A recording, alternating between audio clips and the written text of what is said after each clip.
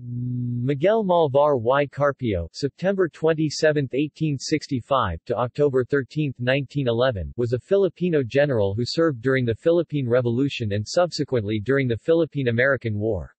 He assumed command of the Philippine Revolutionary Forces during the latter conflict following the capture of Emilio Aguinaldo by the Americans in 1901. According to some historians, he could have been listed as one of the presidents of the Philippines but is currently not recognized as such by the Philippine government. Early life Malvar was born on September 27, 1865 in San Miguel, a barrio in Santo Tomas, Batangas, to Maximo Malvar locally known as Capitan Imoy and Tiburcia Carpio, locally known as Capitana Tibo. Malvar's family was not only well known in town for their wealth but also for their generosity and diligence. For his education, Malvar first attended the town school in Santo Tomas.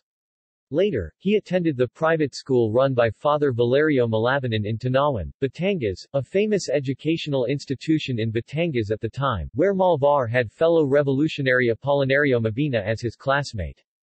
He then transferred to another school in Baon, Cavite, after which he decided not to pursue higher education in Manila, preferring to settle down as a farmer. In turn, he helped his more studious younger brother, Potenciano, to study medicine in Spain.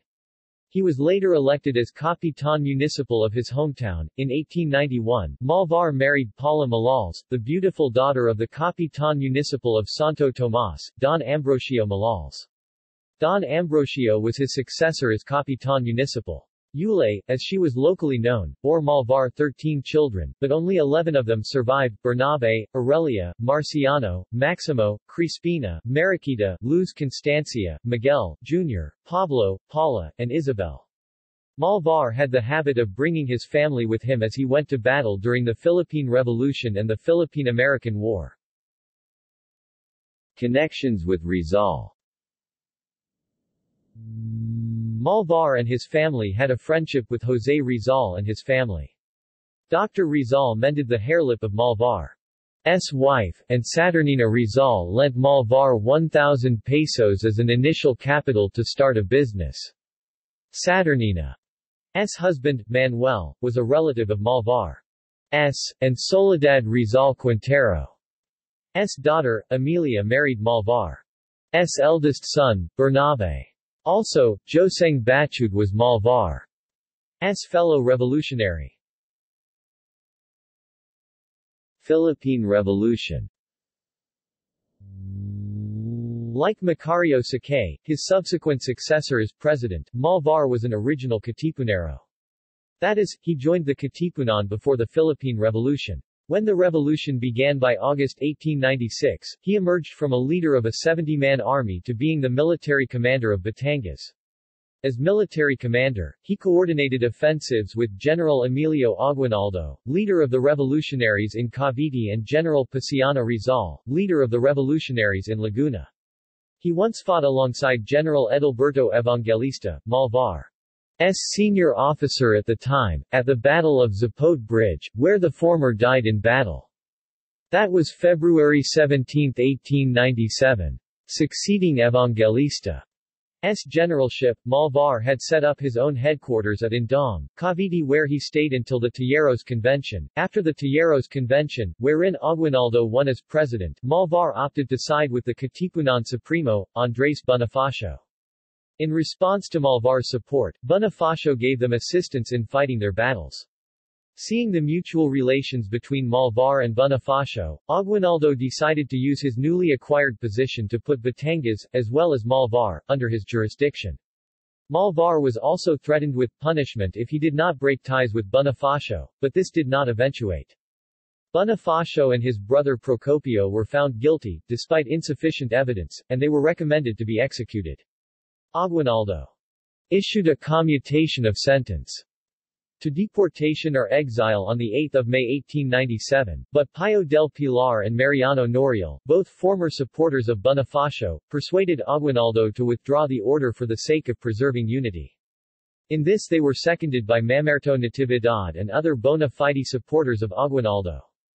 The Bonifacio brothers were murdered on 10 May 1897 in the mountains of Maragondon. After Bonifacio was bumped off, the Spanish offensive resumed, now under Governor-General Fernando Primo de Rivera, and forced Aguinaldo out of Cavite. Aguinaldo slipped through the Spanish cordon and, with 500 picked men, proceeded to Biak na a wilderness area at the tri-boundaries of the towns of San Miguel, San Ildefonso and Doña Remedios in Bulacan. When news of Aguinaldo S arrival there reached the towns of central Luzon. Men from the Ilocos provinces, Nueva Ecija, Pangasinan, Tarlac, and Zambales, renewed their armed resistance against the Spanish. On November 1, 1897, the Provisional Constitution for the Biak na Bato Republic was signed. By the end of 1897, Governor-General Primo de Rivera accepted the impossibility of quelling the revolution by force of arms. In a statement to the Cortes Generales, he said, I can take Biak na Bato, any military man can take it, but I cannot answer that I could crush the rebellion. Desiring to make peace with Aguinaldo, he sent emissaries to Aguinaldo seeking a peaceful settlement. Nothing was accomplished until Pedro A. Paterno, a distinguished lawyer from Manila perhaps wanting a Spanish nobility title, volunteered to act as negotiator. On August 9, 1897, Paterno proposed a peace based on reforms and amnesty to Aguinaldo. In succeeding months, practicing shuttle diplomacy, Paterno traveled back and forth between Manila and Biak na Bato carrying proposals and counterproposals. Paterno's efforts led to a peace agreement called the Pact of Biak na Bato.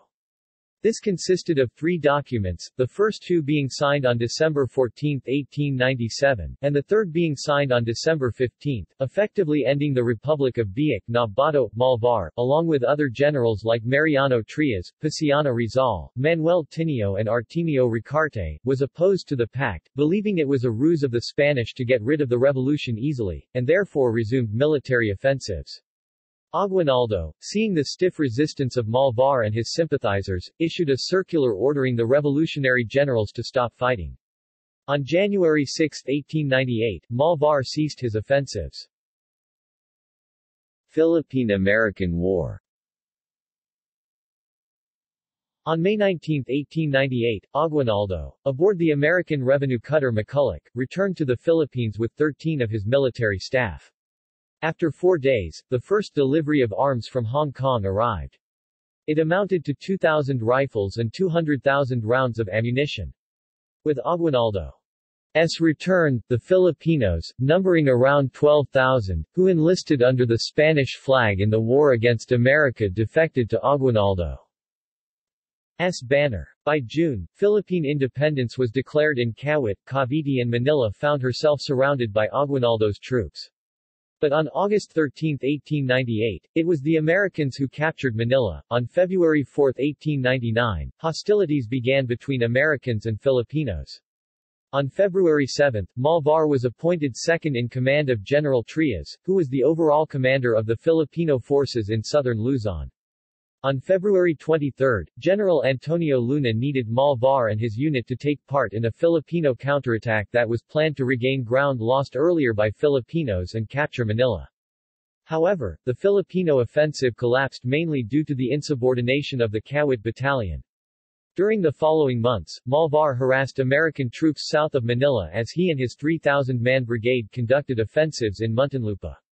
By July 1899, the Americans under General Robert Hall captured Calamba, Laguna. With 10 companies around 2,000 men of American troops in the town, Malvar unsuccessfully besieged Calamba from August to December 1899. On November 13, 1899, Aguinaldo disbanded the Filipino Regular Army, forming them into guerrilla units at Bayambang, Pangasinan and afterwards conducted his escape journey to Palanan, Isabela, which he reached by September 6, 1900. This change in tactics was not as successful as it had been against the Spaniards, and Aguinaldo was captured on March 23, 1901, by General Frederick Funston with help from some Macabebe scouts. General Trias, Aguinaldo's chosen successor as President and Commander-in-Chief of the Filipino forces, had already surrendered on March 15, 1901. Therefore, as designated in Aguinaldo decreed line of succession, Malvar became president of the Philippine Republic. The Hong Kong junta affirmed Malvar's authority in succeeding Aguinaldo. As he took over the affairs of the Republic, Malvar reorganized Filipino forces in southern Luzon and renamed the combined armed forces as Army of Liberation, which possessed around 10,000 rifles at the time. He also reorganized the regional departments of the Republic, which included the Marianas as a separate province. Beginning January 1902, American General J. Franklin Bell took command of operations in Batangas and practiced scorched earth tactics that took a heavy toll on both guerrilla fighters and civilians alike. Malvar escaped American patrols by putting on disguises. So, as early as August 1901, the Americans released an exact description of Malvar's physical features. According to the description given, Malvar was of dark complexion and stood around 5 feet 3 inches. He weighed about 145 pounds and wore a 5 or 6 size of shoes. He surrendered to Bell on April 13, 1902 in Rosario, Batangas, mainly due to desertion of his top officers and to put an end to the sufferings of his countrymen. After the war, he refused any position offered to him in the American colonial government. He died in Manila on October 13, 1911, due to liver failure. He was buried in his hometown, Santo Tomas, Batangas, on October 15. Malvar as the second Philippine president On September 18, 2007, Rodolfo Valencia, representative of Oriental Mindoro filed House Bill 2594, that declared Malvar as the second Philippine president, alleging that it is incorrect to consider Manuel L. Quezon as the second president of the Philippine Republic serving after Emilio Aguinaldo. General Malvar took over the revolutionary government after General Emilio Aguinaldo, first president of the Republic, was captured on March 23, 1901, and was exiled in Hong Kong by the American colonial government, since he was next in command. In October 2011, Vice President Jejomar Binay sought the help of historians in proclaiming Revolutionary General Miguel Malvar as the rightful second president of the Philippines. Commemoration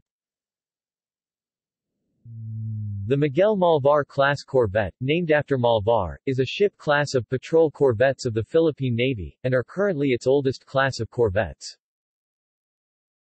Extra Mile Productions conducted the General Miguel Malvar essay writing contest in commemoration of the 100th death anniversary of General Miguel Malvar. Malvar, Batangas, a second-class municipality in the Philippines, was named after him. In 2015, the National Historical Commission of the Philippines will open a museum in Santo Tomas to celebrate the 150th anniversary of Malvar's birthday on September 27. In 2015, the Bangko Sentral ng Pilipinas BSP released the 10 peso commemorative coin in honor of Malvar's 150th birth anniversary. See also List of unofficial presidents of the Philippines References Sources Agoncillo, Teodoro A. 1990, History of the Filipino People, R.P. Garcia, ISBN 978-971-8711-06-4 Constantino, Renato 1975, The Philippines, A Past Revisited, Quezon City, Tala Publishing Services, ISBN 971-8958-002 Zaide, Sonia M. 1994, The Philippines, A Unique Nation, All Nations Publishing Co., ISBN 971-642-071-4. Further reading Zaide, Gregorio F. 1984. Philippine History and Government. National Bookstore Printing Press. External links